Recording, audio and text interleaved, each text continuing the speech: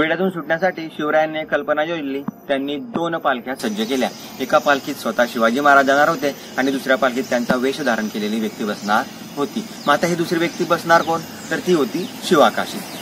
शिवाकाशी हा शिवाजी महाराजांच्या सैन्यात काम करणारा न्हावी होता. तो न्हाव्याचं काम करायचा. छत्र हा अगदी चतुर आणि शूर होता. शिवाकाशीद याला एका पालखीत त्यांनी सज्ज केलं आणि ती पालखी राजदिंडी मार्गातून अगदी शत्रूच्या सैन्याला दिसेल अशी ती पालखी त्यांनी तिथून जायला सांगितली.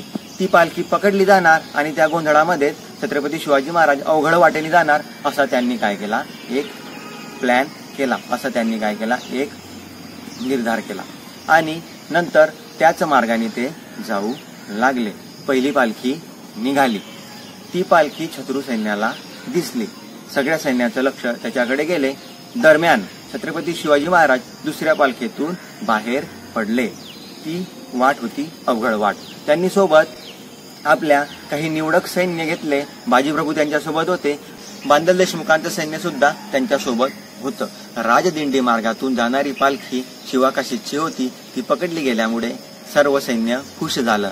त्या पालखीला सिद्धीजोरच्या छावणीत नेण्यात आलं. या वेळेतच जो गोंधळ झाला त्या गोंधळात छत्रपती शिवाजी महाराज किल्ल्यातून बाहेर पडले.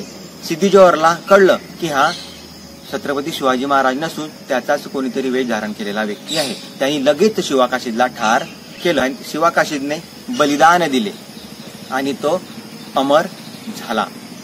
सिद्धी जोहरनी लगेच आपला सरदार सिद्धी मसूद याला छत्रपती शिवाजी महाराजांच्या पाठलाग करायला सांगितलं. मसहूद छत्रपती शिवाजी महाराजांच्या मागे अगदी वाराच्या वेगाने निघाला.